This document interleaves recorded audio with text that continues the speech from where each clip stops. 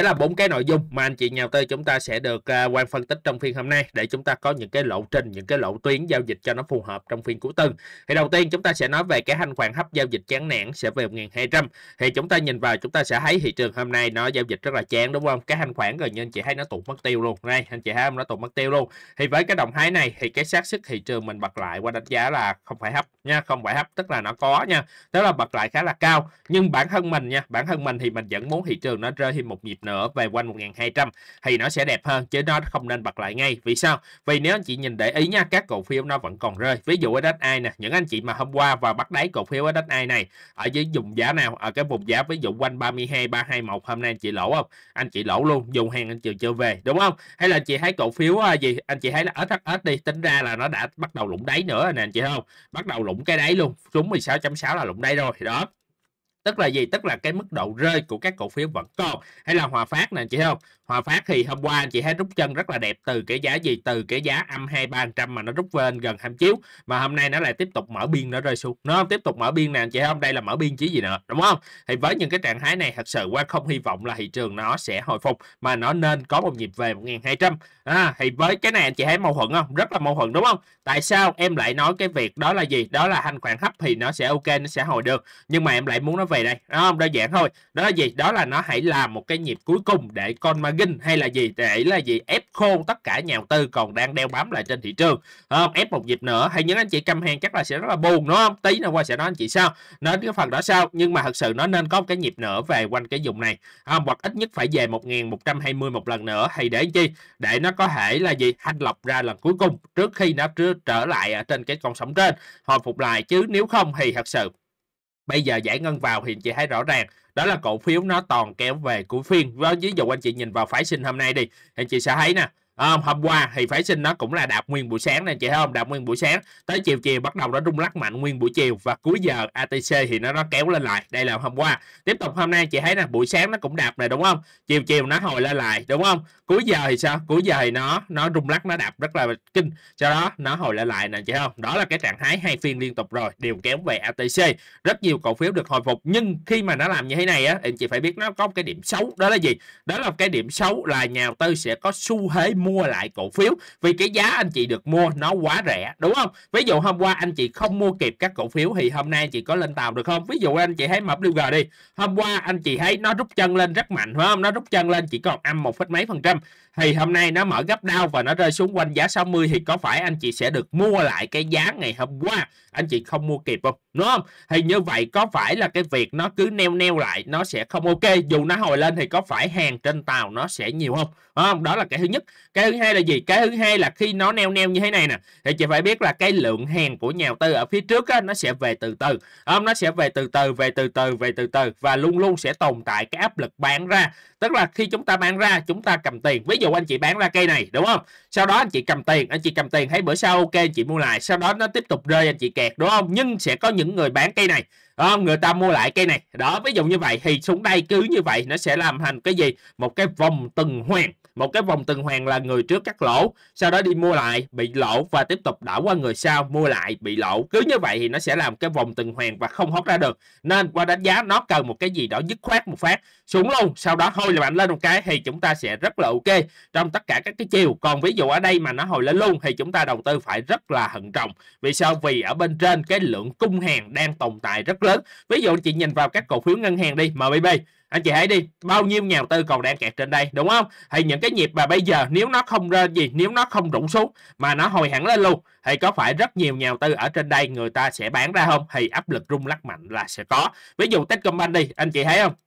Bây giờ nè, thì có phải trên đây có phải là cái vùng kẹt hàng không? Ví dụ ngắn hàng thôi, trên đây đã thành cái vùng kẹt hàng thì có phải khi nó hôi lên thì nhà đầu tư lại bắt đầu bán ra? Khi anh chị đua lệnh vào thì anh chị sẽ là người kẹt và những cái người bên đây sẽ là những người bán ra thì chúng ta đơn giản chúng ta hay máu cho nhau thôi. Nhưng nó không hót được khỏi cái gì? Cái vòng lẫn quẩn này. Ví dụ CTG cũng vậy, nếu mà nó không có cái nhịp đạp mạnh xuống mà nó cứ xuống hỗ trợ đó xuống hỗ trợ nó lại bật lên thì khi nó bật lên, nó lại gặp rất nhiều nhà đầu tư vừa hôm bữa kỳ vọng sống ngân hàng, vừa hôm bữa kỳ vọng rất là nhiều về ngân hàng. Người ta bán ra, thì có phải lúc đó nó lại vào cái vòng lẫn quẩn là đi lên lại bị bán xuống, đi xuống lại gì, lại hồi lên không? Nên thành ra nó phải là một cái nhịp qua đánh giá là cần phải có. Đó gì? Đó là xuống hẳn 1.200 luôn. Sau đó bật lên là ok. Nên ở đây mình thì bản thân mình nha thì với góc độ phân tích và góc độ là gì? Mình đã giao dịch rất là nhiều qua những đợt sập rồi. Thì mình hy vọng ở chỗ này quan đánh giá là phải có một cái về về 1.200 bây giờ rất chán rồi, mà còn về 1.200 nữa thì nó sẽ làm giao là nhào tư bán hết và đứng ngoài xem luôn. Thì lúc đó cá mập nó sẽ thu gom lại lượng hàng rất ok và nó sẽ lên tiếp. Tuy nhiên, nếu cái trường hợp nó đi lên luôn, trong cái thanh khoản thấp mà đi lên luôn á thì qua sẽ nói với anh chị là đầu tư rất khó khăn và chúng ta phải căng ke rất là nhiều. Chúng ta vẫn phải đi tính từng cổ phiếu coi nó như thế nào chứ không phải là nó hồi lên chúng ta sẽ mua. Vì sao? Vì gần như nó hồi lên thì như qua nói hồi nãy nó sẽ gặp một đống nhà đầu tư đang ngồi ở trên và đang cần bán xuống à, thì đó là cái ý đầu tiên qua muốn chia sẻ với anh chị về cái việc là có về 1200 hay không. Thì nói chung là gì? Hơn hơn thì cơn khúc này mình sẽ nói là gì? Hệ tâm linh để thị trường và các lái tổ chức nó quyết. Chúng ta chỉ là ngồi theo đó và chúng ta coi những cái vận động này. Nãy giờ qua quan sát đó để chúng ta đưa ra những cái hành động cho nó phù hợp. Chứ không phải là chúng ta gì? Chúng ta chúng ta cờ chứ không phải là chúng ta làm gì? Chứ không phải là chúng ta cố gắng đón theo cái hướng đó, chúng ta cố gắng kỳ vọng theo cái hướng đó rồi để rồi nó không như như hy vọng thì chúng ta lại thất vọng thị trường và cổ phiếu luôn đúng. Và những cái lúc này là những cái lúc chúng ta ngồi chờ nha. Rồi tiếp tục chúng ta sẽ nói là hồi phục có nên bán hay không thì qua vẫn giữ một quan điểm cũ thôi. Đó là hai trường hợp nha, đó là hai trường hợp. Với những anh chị đang nắm giữ những cổ phiếu, ví dụ CSV anh chị đang nắm giữ và anh chị vô tình, anh chị đi đu đỉnh ra trên giá này 39.40 vô tình anh chị mua ở đây, anh chị FOMO tại cây này là giá nhiêu? Là giá 39 ví dụ như vậy 3839 thì thật sự quan điểm của quan đó là khi cổ phiếu hồi lại qua dẫn khuyến nghị anh chị nên bán. À, vì sao? Vì anh chị đã mua sai vì thế đúng không? Và bây giờ hồi lên là để bán hay để mua? Chắc chắn rồi hồi lên là để bán. Vì khi chúng ta nắm giữ cổ phiếu chúng ta nắm ở giá cao và bây giờ nó gãy bơm bơm bơm rồi thì nó hồi lên, thì bán thôi, chứ chẳng lẽ nó hồi lên anh chị đi mua him? Rồi mua him mai ví dụ nó làm cái óc xuống nữa thì sao? Là lúc đó có phải lỗ rất nặng không? Trong khi nó đã rước anh chị về bờ, đúng không? Hay trường hợp cổ phiếu BR trong phiên hôm nay cũng có những cái nhịp kéo lên lên vượt qua giá 22 thì qua cũng có nhắc với khách hàng là gì? Qua không biết là cổ phiếu thị trường nó có lên được hay không? Không? Thị trường có ok không? Nhưng mà bây giờ mình thấy là gì? Đó, thứ nhất đó là mình thấy thị trường nó không ok, ở rất là nhiều cổ phiếu vẫn rơi. Thứ hai là mình thấy là cái trend line này không? Kể cho anh chị không ra đâu mà thì nó gãy trend rồi. Nó gãy trend gì? Nó gãy trend ngắn hạn bắt đầu từ cái đáy ngày 4 à, ờ, vào 19 tháng 4 năm 2024 cái đáy thứ hai là ngày 28 tháng 6 năm 2024 hay là hai cái đáy này nói lại ra cái trend ngắn hạn. Thì cái trend ngắn hạn đã bị gãy đúng không? Trong chặt tầng thì chưa có tầng chưa biết được. Nhưng trong chặt tầng đến hiện tại thị trường mình vẫn đang gãy trend. Cây nến tầng này gần như là cây nến gãy full trend luôn. Thì ngày mai nó phải hồi lên được ít nhất là 30 điểm tăng 30 điểm thì thị trường mình mới mới phá lại cái trend này được. Không thì vẫn đạt được tính là gãy trend trung hạn của thị trường bắt đầu từ cái đấy vào tháng 11 năm 2023 nha. Đó, thì với những cái trạng thái này thì đó là gãy trend phải không? Gãy xu thế. Mà chúng ta đầu tư là gì? Là chúng ta có phải hay nói với nhau là tôi đi đầu tư theo xu thế, tôi đi đầu tư theo trend. Thì bây giờ nó gãy có phải nên bán không? Đúng không? Nên những cái vị thế, ví dụ BR thì qua dẫn nói với anh chị, ví dụ anh chị bên quan là mua ngay giá 23 khá là nhiều, hoặc là trên dưới 23 khá là nhiều, ở khúc ngay đây. Thì bây giờ nó hồi lên được, anh chị lỗ nhẹ thì anh chị có thể cơ cấu và cân nhắc là hạ bớt tỷ trọng. Lỗ ba, bốn trăm, thật ra nó rất là nhẹ nhàng, rất rất là nhẹ nhàng. Vì sao? Vì anh chị nên nhớ người ta bây giờ lỗ hai, ba chục phần trăm đầy trên thị trường hết mình lỗ có mấy phần trăm thôi. Đó, mình lỗ có mấy phần trăm thôi thì mình bán quất đó đi cho nó khỏe đúng không? Để mấy bữa nữa nếu thị trường và cổ phiếu ok thì mình mua lại cũng được. Còn nếu mà nó không ok nó gãy tiếp thì lúc đó mình không tiếc đúng không? Tại vì nó đã cho mình về bờ. Thì quan điểm của quan hay nói với anh chị đó đó là gì? Lái tổ chức nó muốn cho chúng ta ao hàng nó muốn cho chúng ta cút ra. Để chi? Để nó gom lại hàng nó đánh vòng mới thì chúng ta cứ đi ra thôi chúng ta chấp nhận thua chúng ta đi ra. Và để nó set up lại cuộc chơi mới thì chúng ta vào chúng ta kiếm mười mấy hai chục phần trăm rất đơn giản rất easy khi thị trường và cổ phiếu nó xác nhận. Ví dụ chị thấy điểm mua BR đi, thì đây có phải là rơi mạnh không? Không, thì khi gãy cây này thì hồi lại phải bán. Không cần quan trọng cái gì cả, hồi lại là phải bán.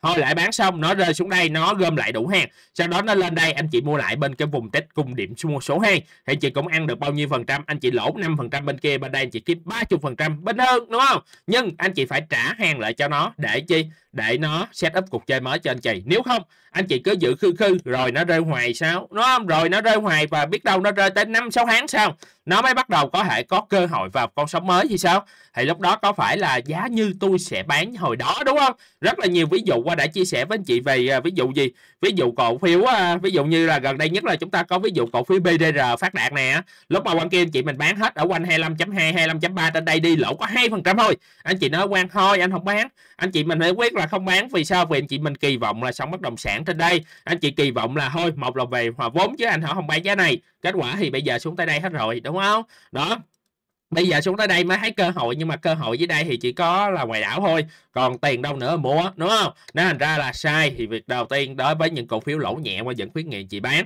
Rồi cái thứ hai đó là gì? Đó là với những anh chị mình là kẹt hàng rất là nặng à, kẹt hàng mình rất là nặng rồi. Thì trên là bao nhiêu? 15 20 phần trăm trở lên là anh chị đều có thể trên thì không được. Vì đây là một cái điểm mà bên hệ thống bên quan đã cân nhắc rất là nhiều và đã nói với anh chị gần như là ba tuần nay một tháng nay.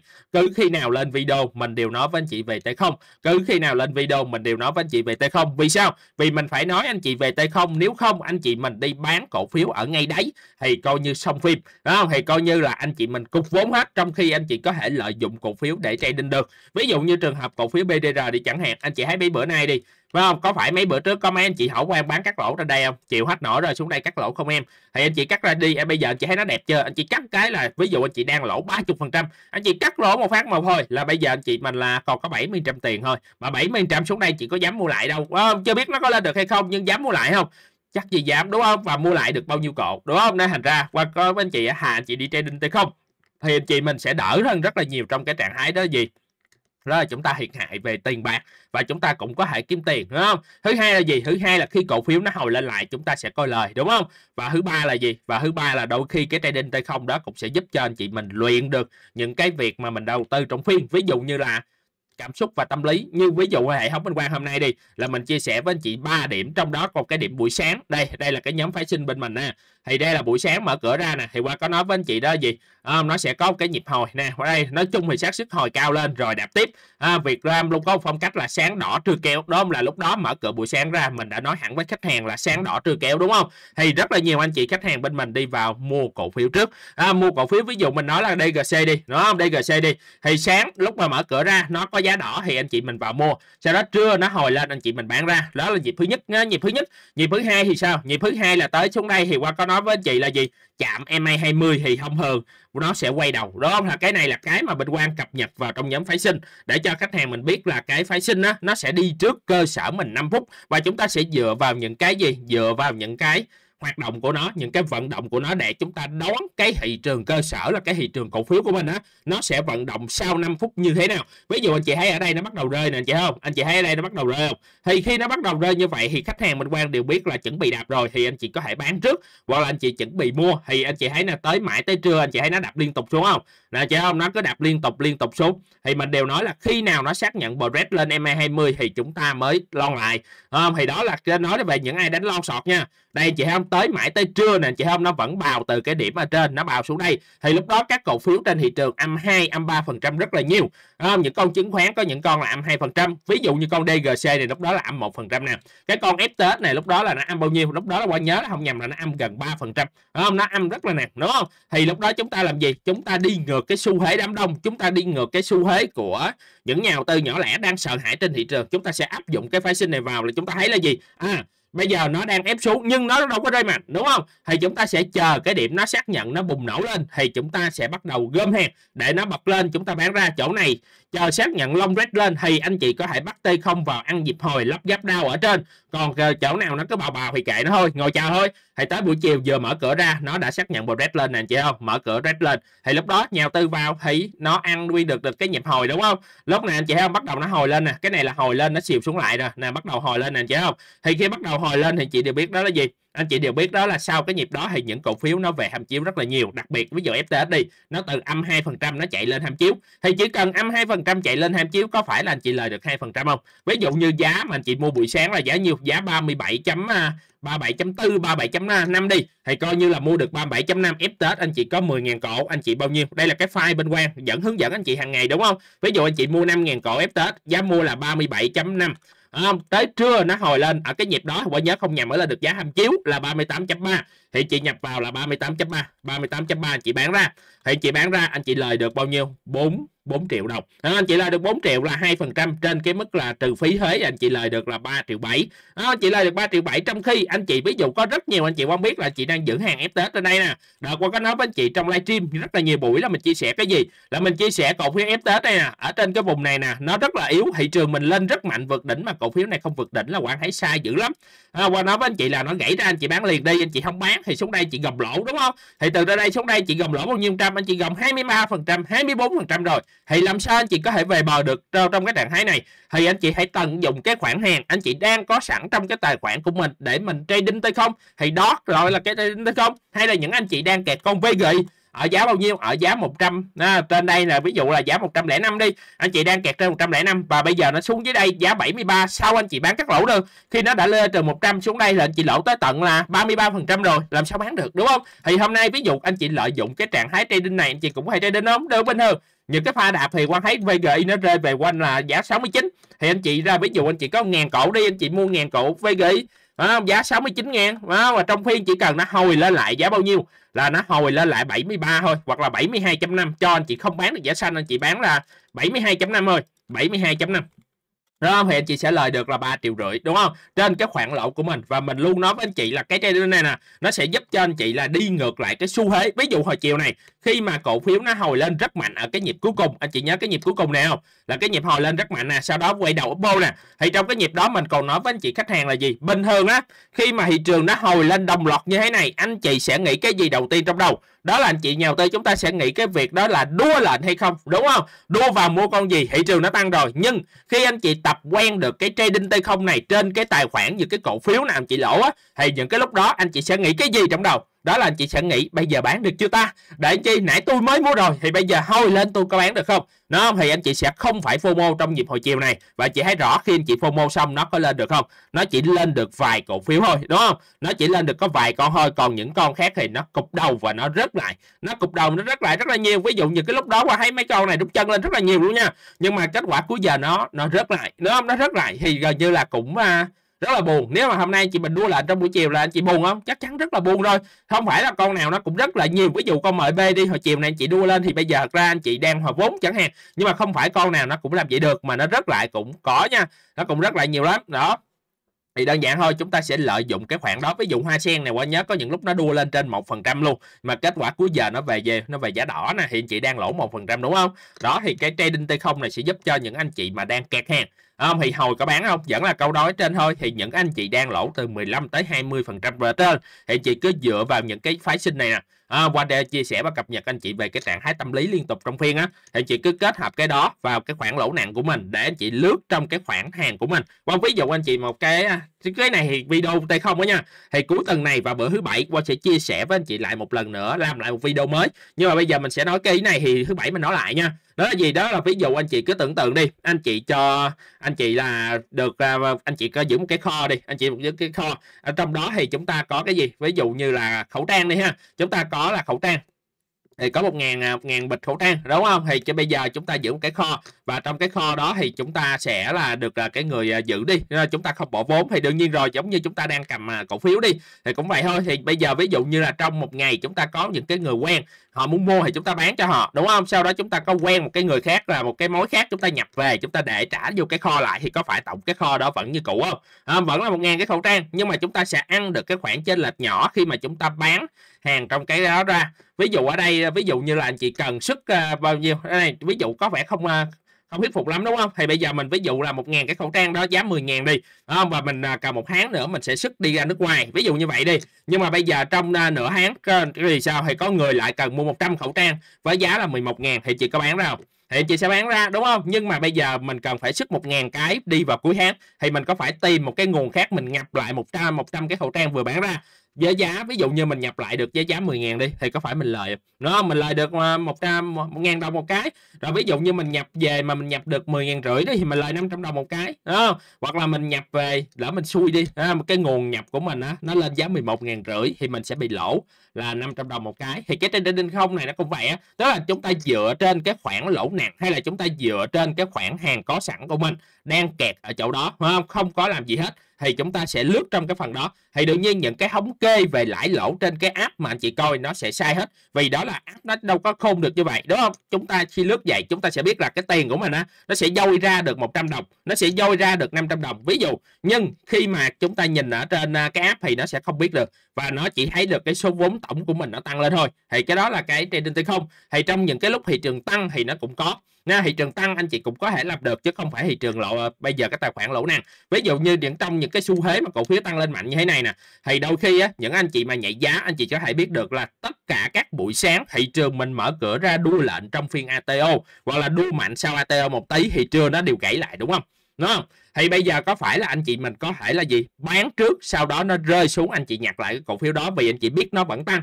Thì sáng bán, trưa mua lại, sáng bán, trưa mua lại thì trên lệch một phần trăm. Nhưng tổng cái số cổ phiếu từ giá gốc đi lên thì nó vẫn đi lên đầy đủ như cũ, đúng không? Là anh chị sẽ vừa lại được trong hôm đó, mà anh chị sẽ vừa lại được trong xu thế tổng thể đi lên luôn. Thì cái đó là trading t không trong chiều tăng. Cũng có được luôn, nhưng mà bây giờ chúng ta không có chiều tăng. Thì chúng ta đang trong chiều gãy, đang trong chiều rơi vớt này nè thì chúng ta phải lợi dụng nó. Để chi? Để những cái pha biến động rất lớn trong thị trường này, chúng ta có thể áp dụng nó vào để chúng ta có thể kiếm được những cái khoản lợi nhuận nhỏ nhỏ nhỏ ví dụ lúc đầu anh chị lỗ 50 triệu thì mỗi ngày anh chị kiếm được 2 3 triệu 2 3 triệu thì có phải anh chị có 10 ngày là anh chị kiếm được 20 triệu không 30 triệu không trừ hao lỗ luôn đi thì còn 15 triệu đi thì có phải là anh chị ra trong 10 ngày anh chị sẽ gỡ được không hiển nhiên anh chị phải bỏ cái thời gian ra anh chị nghiên cứu và anh chị đọc vị cái dòng tiền cái tâm lý thì ví dụ ở đây qua chia sẻ với anh chị trong nhóm phái sinh bên mình đó chúng ta đọc vị về cái phái sinh kết hợp với xu thế tâm lý thì từ đó chúng ta sẽ làm gì chúng ta sẽ đoán là lúc này chuẩn bị đạp hay là lúc này chuẩn bị kéo thì lúc đó từ đó chúng ta sẽ trading. À, thì có phải là vừa có thể gỡ được lỗ mà vừa có thể làm gì? Vừa có thể giỏi hơn không? Nó giỏi hơn không? Và ít bị lùa gà hơn không? Nhất là đua lệnh hay bán háo đúng không? Thì cái đó là những cái mà hàng ngày qua điều nói với anh chị là nên trading tên những cái cổ phiếu bị lỗ nặng đi. À, những cổ phiếu bị lỗ nặng thì cứ làm đi tập từ từ nó quen không quen thì vài vợ lỗ vài lần thì là quen thôi không thể không lỗ đúng không? Ví dụ như có những khoản mà nó đang nó đạp xuống á anh chị thấy khoản lọt anh chị bán ra để hồi xuống nó mua lại. Ai về nó không nó không xuống mà nó hồi lại thì anh chị phải lỗ rồi thì anh chị phải cover lại hàng. Đó thì cái này chia sẻ với anh chị rất nhiều và cứ điền vào file cứ điền vào cái file này để hàng ngày mình test thử. Để hàng ngày mình test thử. Hôm nay qua còn thấy có vài khách hàng bảo là mình mua được BVS nè BVS nè, với CTS nè, mà anh chị mua giá đỏ. Xong đó kéo lên chị bán ra, anh chị cũng lời được hai ba trăm, hai ba trăm rất là ngọt ngào, đúng không? Trong khi là ồ thì lỗ cũng lỗ thôi, có cái gì đâu, đúng không? Rồi, đó là cái điểm đó, cái tiếp nha. Cái điểm nữa đó là gì chúng ta nói về là khi nào mua mới cổ phiếu được đúng không? Thì nói chung á là khi nào mua mới được thì hiện tại thì Quang đang đánh giá là thị trường đang cố gắng tìm điểm cân bằng. Thì chúng ta phải chờ những cái pha rung lắc kế tiếp. Ví dụ chị thấy CTS ở đây nó mới có một đáy à, thì nó cần phải có đáy hai. Thì cổ phiếu nào đã có đáy hai chúng ta sẽ quan tâm nó trước. Ví dụ chị thấy cổ phiếu gì? HAH đi. Thì chị thấy là ở đây nó đang có đáy một rồi đúng không? Ở đây nó đang, hiện tại đang có đáy một, đây nó đáy hai. Thì ví dụ ngày mai thị trường rung lắc xuống mà nó có đáy ba, nó test lại đây thành công, nó không gãy, thì qua tầng nó break lên thì đó có phải là điểm mua của anh chị không? Không? Sẽ có bắt đầu có những cái điểm mua, nó dần dần xuất hiện. Tuy nhiên cái thị trường nó phải test được, cái cổ phiếu nó phải test được chứ không phải nó gãy. Lỡ nó gãy thì sao? Thì thôi. Lỡ nó toan thì sao? Thì thôi. Đây là ví dụ là cổ phiếu kênh trên. Vậy cổ phiếu kênh dưới hiện tại qua đánh giá, nếu anh chị chờ, anh chị chờ chứng khoán thứ nhất là anh chị chờ chứng khoán những cái con rơi nặng như thế này. Thứ hai đó là anh chị chờ con gì? Bất động sản. À, tại vì sao mình lại nói bất động sản? Tại vì thật ra bản chất anh chị thấy là hẩm rai thị trường mình nó rất là xấu nhưng bất động sản xuống tới đây thì tận cùng của xã hội rồi. Nếu mà tiếp tục test một nhịp nữa mà các cổ phiếu bất động sản không rơi á đúng không? Thì khả năng anh chị có thể rơi một ít để cho cái sóng hồi, tức là sóng hồi hoặc là gì, sóng test lại lên 21 anh chị ăn cái biên nhỏ. Đúng không? Thì qua đó giá hiện tại trên thị trường nó chỉ vậy thôi. Ví dụ chị thấy đất xanh không? Đang bắt đầu test test qua đây thì nó test thêm một, hai phiên nữa qua đây, ok. Thì chị có thể lấy hàng qua đây với những cái target hồi nhẹ lên thôi. Mình không có view về sóng bất động sản nha. Mình chỉ view về cái biên độ này rơi rất sâu rồi và cổ phiếu có thể cân bằng được dưới đáy, không rơi theo thị trường nữa thị trường mình nếu rơi nữa mà nó vẫn đầu đầu qua đây thì có thể gom được. Rồi, gom được để chi? Để khi thị trường hồi lại thì nó lên thì chúng ta sẽ ăn được cái biên độ này chứ không? Thì chúng ta chỉ ăn biên độ thôi nha, chứ không có view sống gì cả, tại vì những con này là cổ phiếu downtrend mà cổ phiếu downtrend mình chia sẻ rất nhiều trong các buổi livestream rồi. Đó là những cổ phiếu gì? Chị ăn theo sóng liên tục, dích sắc dích sắc thôi. Ví dụ chị thấy cổ phiếu NT2 một cổ phiếu downtrend rất lâu từ năm 2023 đầu năm 2023 tới bây giờ. Thì chị thấy nè À, đây là quá trình downtrend của nó từ năm 2023 trở xuống. Thì chị thấy nè cứ khi nào rơi tới một số mức độ nhất định nó sẽ tạo đáy. Và anh chị vào anh chị ăn được cái biên độ hồi lên chị bán liền. Tiếp tục rơi xuống rất mạnh nè. Ào ăn được cái biên độ xong bán liền. Tiếp tục rơi xuống rất mạnh tạo đáy nè. Hồi lên ăn được biên độ bán liền. Tiếp tục rơi xuống rất mạnh hồi lên ăn được biên độ bán liền. À, không biết ăn được bao nhiêu còn tùy vận may. Nhưng cứ là gì? Cứ là đánh ăn biên độ và bán ăn biên độ và bán. Hay là cổ phiếu ít bờ tờ à, đường thành công à, đường thành công biên hòa. Nè bây giờ anh chị thấy nó đang lên lại không? Nhưng trước đó nó là cổ phiếu downtrend nè anh chị thấy không? Nè đây là quá trình downtrend của nó. Thì chị cứ tưởng tượng những cổ phiếu bất động sản bây giờ nó giống hệt như thế này nè thì sao? Thì chị hãy cứ như cái lúc mà nó tạo đáy được hai ba phiên á. Ok và bốc ăn được cái biên độ xong bán tiếp tục ok tạo đáy ok hãy à, test liên tục thị trường sập nó không sập vào mốt ăn được biên độ bán. Cứ như vậy anh chị ăn được những cái biên độ nhỏ nhỏ thì thị trường hiện tại qua đang đánh giá là nó đang giống giống như vậy đó. Ví dụ chị thấy xuống đây nè đó, cứ ăn được cái biên độ bán ăn được cái biên độ bán không ăn được thì thôi ra, ra liền đó thì những cổ phiếu downtrend thường chúng ta sẽ đánh ngắn và chúng ta sẽ đánh gì? Đánh chắc đó, thì bây giờ ví dụ như trạng thái thị trường này ngày mai đó, ngày mai thị trường chúng ta là thứ sáu quá, hoặc là qua tuần chúng ta có những cái pha đạp lại rất mạnh mà cổ phiếu chúng ta những cái con bất động sản mà nó rất là tuyệt vọng rồi nó rất là chua rồi thì lúc đó nó không lên được. Nó đã nó sao? Nhưng mà nó cũng không gãy nữa thì qua đánh giá nếu thị trường mình ok thì những con đó có thể sẽ hút tiền để nó kéo lên lại. Tại vì những cái ngành khác một là mới Apple ví dụ ngân hàng mới Apple bán lẻ mới Apple không? Hai là gì? Hai là những con chứng khoán thì nó lại phân hóa ra những cái con lớn nó vẫn đang rơi thì nó rất là chua không? nhưng mà chứng khoán nhỏ thì ok. Ví dụ như vậy thì nó không có nhiều cổ phiếu lắm để cân nhắc. Thì chúng ta sẽ lựa chọn cái gì đó ở tận cùng của xã hội thì hỏa may chúng ta sẽ ăn được những cái nhịp hồi. Khi mà nó đã khỏe hơn thị trường trong những nhịp thị trường rơi không? Thì ok.